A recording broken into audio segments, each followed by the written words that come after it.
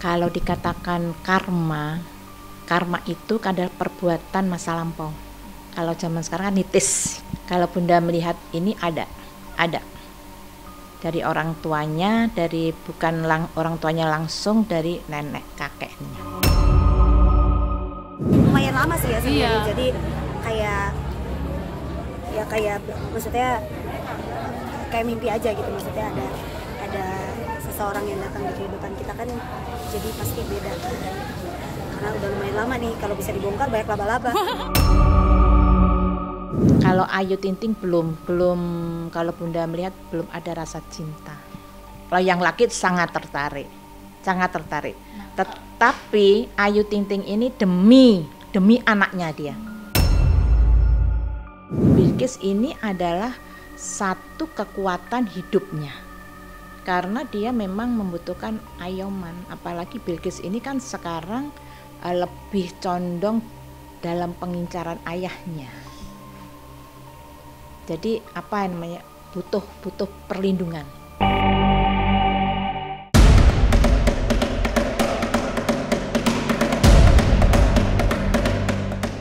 Jalan cinta Ayu Ting Ting memang penuh cerita. 10 tahun silam, pernikahannya dengan Angie Baskoro berlangsung singkat untuk kemudian bercerai. Sejak itu, Ayu seperti menjalani hari-hari panjang dalam kesendirian. Sejumlah pria dikabarkan dekat dengannya, termasuk yang sudah sangat serius, bahkan siap menikah. Terakhir, Ayu disebut-sebut sedang menjalani kedekatan dengan Boy William. Tapi tiba-tiba saja, Ayu bertunangan dengan perwira pertama TNI bernama Muhammad Fardana. Perkenalan mereka juga singkat, hanya satu bulan. Lantas, benarkah selama ini Ayu mengalami kutukan asmara? Lalu benarkah Letu Fardana yang mampu menjadi penawar kutukan itu? Jangan dulu berlalu, masih akan banyak keganjilan terjadi di sini. Dan jangan lupa subscribe, like, share, dan komen agar tak ada yang terasa ganjil di sekitar Anda.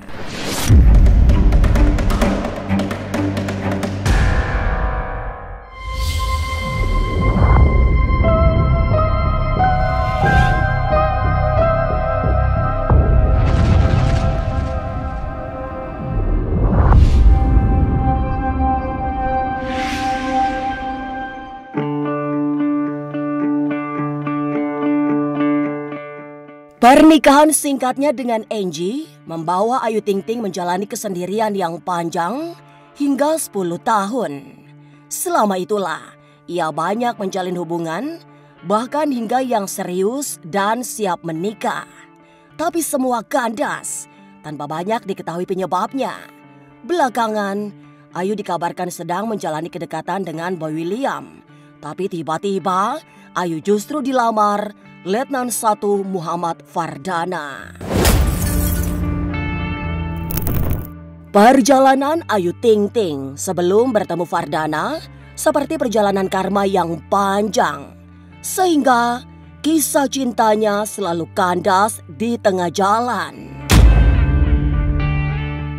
kalau dikatakan karma karma itu adalah perbuatan masa lampau kalau zaman sekarang kan nitis kalau bunda melihat ini ada ada dari orang tuanya dari bukan lang, orang tuanya langsung dari nenek kakek lumayan lama sih ya sendiri. Iya. Jadi kayak ya kayak maksudnya kayak mimpi aja gitu maksudnya ada ada seseorang yang datang di kehidupan kita kan jadi pasti beda kan. Karena udah lumayan lama nih kalau bisa dibongkar banyak laba-laba.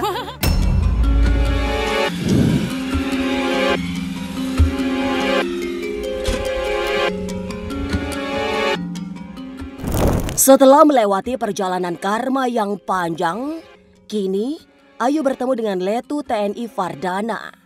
Lamaran dijalani dalam tempo sangat singkat setelah mereka berkenalan selama satu bulan. Tapi meski lewat skema perkenalan singkat, hubungan Ayu dan Fardana disebut-sebut cocok. Perwira TNI Angkatan Darat ini juga dianggap yang akan mampu menjadi penawar semua karma asmara Ayu Ting Ting. Dua manusia ini kan sama-sama kuat ibadahnya. Kalau Bunda melihat ya, sama-sama kuat ibadahnya. Yang satu, kalau nggak salah asli Jawa Timur, Banyuwangi. Itu adat istiadatnya tinggi sekali.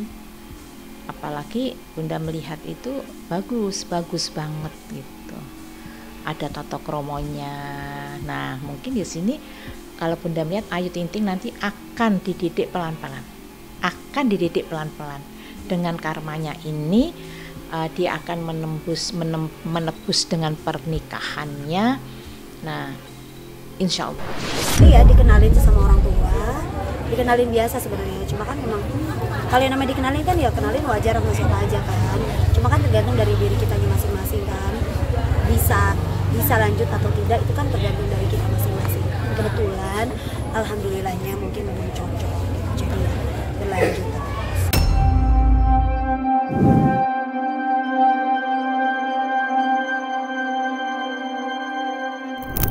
Ayu memang harus menjalani kisah asmara yang penuh leko.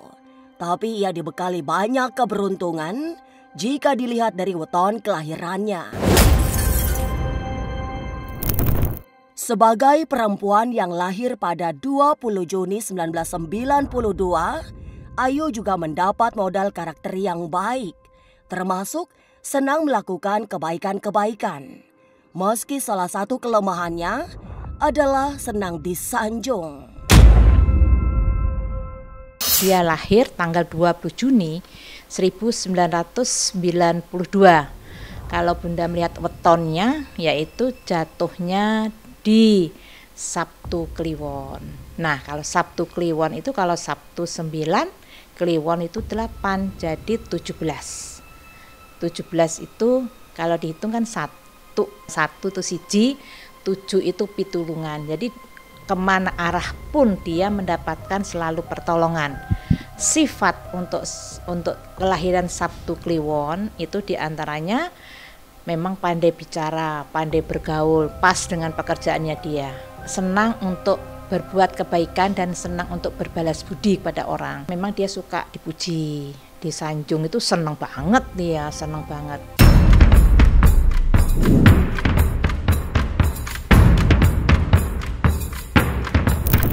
Tapi seperti apa kecocokan Ayu dengan Muhammad Fardana? Benarkah mereka memang berjodoh? Jangan ke mana-mana, tetap subscribe, like, share, dan komen agar tak ada yang terasa ganjil di sekitar Anda.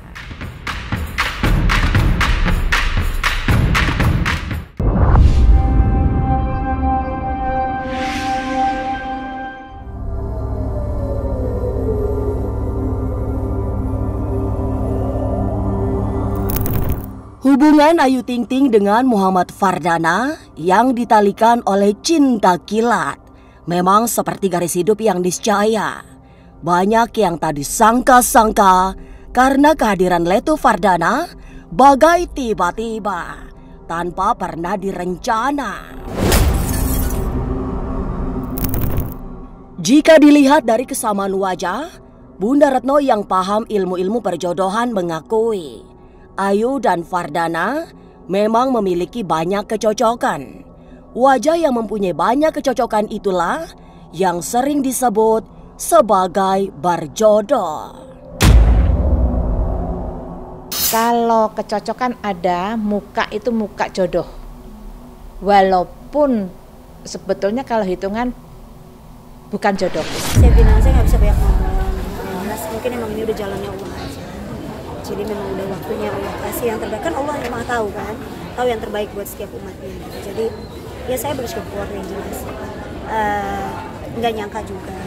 Tapi yang jelas bersyukur dan senang alhamdulillah.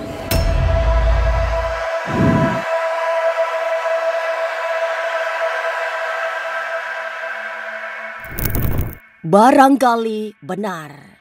Oleh sebab pertemuan Ayu dan Fardana lewat perkenalan singkat, ada yang menganggap keduanya terlibat cinta kilat yang mudah membuatnya berbeda jalan. Ayu bahkan ditengarai belum sepenuhnya menaruh cintanya pada calon suaminya itu. Kondisi hati Ayu belum sepenuhnya terbuka. Berbeda dengan Muhammad Fardana yang sudah yakin dengan pilihannya. Dua orang ini itu kalau Ayu Tinting belum belum kalau Bunda melihat belum ada rasa cinta. Kalau yang laki sangat tertarik. Sangat tertarik. Tetapi Ayu Tinting ini demi demi anaknya dia. Demi anaknya, anaknya sudah cocok. Terus Farhannya juga sayang sama Bilkis gitu kan. Jadi kecocokan ada. Dua orang ini sifat sifatnya ada kesamaan. Tapi Ayu Tinting orangnya keras keras. Karena Bilki sekarang udah 10 tahun mau 11 jadi dianya juga sudah mulai dewasa dan sudah bisa membuka hatinya gitu. dan karena dia mungkin salah satu dia sayang sama saya gitu. Jadi dianya juga pengen nih bundanya juga bahagia. Gitu. anak itu sudah bisa diajak diskusi udah bisa diajak ngobrol udah bisa ditanyain apa nanya masukan gitu. Udah bisa kasih masukan juga gitu. Jadi ya mungkin uh, ini cara Allah yang tepat gitu. ketika Bilqis sudah mengerti dan Bilqis sudah, Atas nama sudah lebih dewasa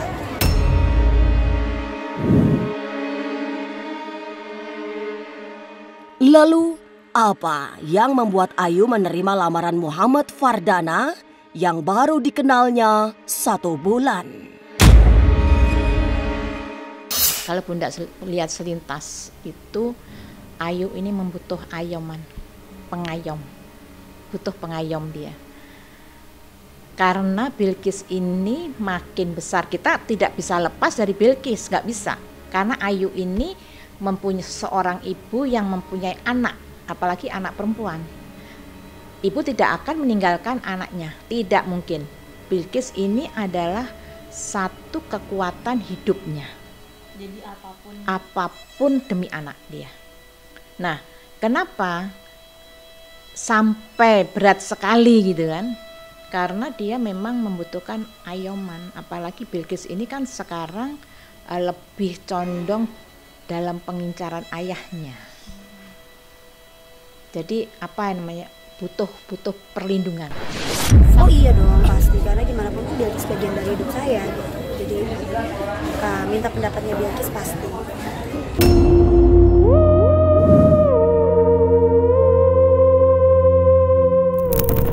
Ayu Ting Ting dan Muhammad Fardana dikabarkan segera melangkah ke pelaminan. Pasca lamaran yang serba mengejutkan itu, mereka merancang pernikahan setelah lebaran nanti. Tapi benarkah? Secara sio, Ayu dan Fardana sesungguhnya berada dalam posisi ciong mulut. Lalu, apa makna ciong mulut itu? Jangan ke mana-mana, tetap subscribe, like, share, dan komen agar tak ada yang terasa ganjil di sekitar Anda.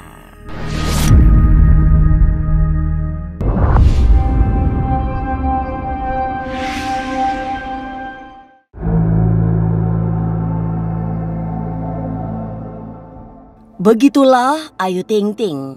Meski proses perkenalan hingga lamaran yang dijalani Ayu dan Letu Muhammad Fardana sangat mengejutkan. Tapi jalan menuju pelaminan terbuka sangat lebar. Prosesi lamaran yang sebelumnya tersimpan rapat juga mulai dipublikasikan. Sejumlah postingan di sosial media menunjukkan bahwa mereka siap menghadapi risiko apa pun saat lamaran diumumkan ke halayak. Lalu, Bagaimana dengan karma yang sedang dijalani Ayu? Dari Ayu Ting Ting sendiri sih tidak ya. Ah, hanya karakter saja, sifat. Ah, ya mungkin dia lebih enjoy, masih mencari yang lebih tepat dengan hatinya ya. Kalau untuk tahunya perempuan ini si Ayu Ting Ting memang sudah saatnya dia betul tidak ditutupi dia sudah melakukan tukar cincin, lamaran, dan memang jenjang untuk ke depannya dia sama-sama sudah ingin mengambil langkah untuk kepernikahan. ya itu tadi saya bilang saya nggak bisa banyak ngomong jelas mungkin emang ini udah jalannya Allah aja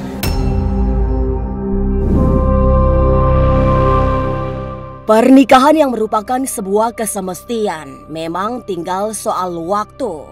Ayu dan Fardana juga sudah yakin dengan pilihannya. Meskipun Ayu lebih tua satu tahun dibanding calon suaminya itu. Dan jika dilihat dari tahun kelahirannya, Su Siam justru melihat potensi Ciong pada pernikahan Ayu dan Fardana. Setidaknya, Ciong mulut, sehingga banyak terjadi perselisihan. 92 dan 93 selisih hanya satu tahun ciong mulut pada saat sudah ada hubungan bukan kepernikahan masih dalam perhubungannya aja sudah seperti ibarat uh, ciong mulut itu dapat tergolong uh, selisih paham cemburuan dan seperti kayak uh, ciong mulut itu yang kayak suka adu mulut gitu ya. Saya doakan jalan, saya doakan berhasil sampai ke pernikahan, kita sama-sama doakan.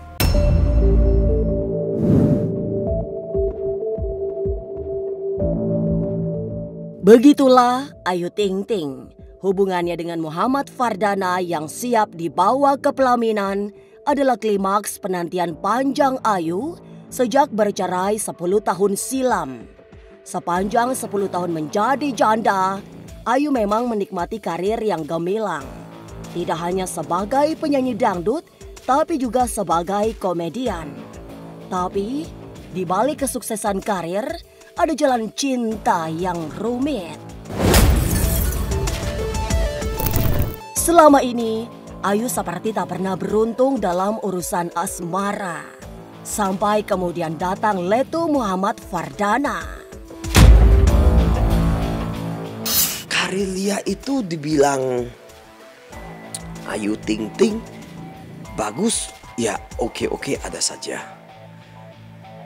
Dari tanggal lahir yang kita hitungkan pun dia ini sosok di lahir yang bulan yang manis, hari yang tanggal hitungan leg manis orang bilang.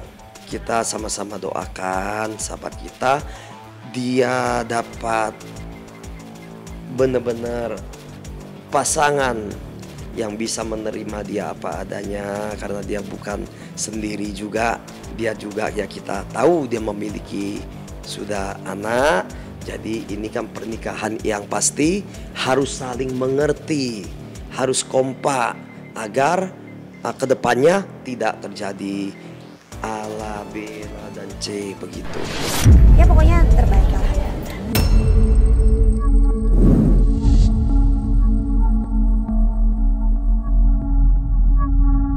Perjalanan cinta Ayu Ting Ting sungguh penuh peluh. Panjang berliku, tapi ujung-ujungnya kandas saat hendak dibawa ke pelaminan. Dan kini ia bertemu dengan Muhammad Fardana, seorang perwira pertama TNI yang belum lama ini resmi melamarnya. Pertemuan mereka yang singkat seperti tak menjadi penghalang untuk segera membawa hubungan mereka ke pelaminan. Maka, semogalah kali ini Ayu beruntung bisa kembali menikah setelah 10 tahun menjadi janda. Sampai jumpa pada episode selanjutnya dengan kisah-kisah ganjil setiap hari Senin, Kamis, dan Jumat pukul 5 sore. Tapi sebelumnya, jangan lupa subscribe, like, share, dan komen agar tak ada yang terasa ganjil di sekitar Anda.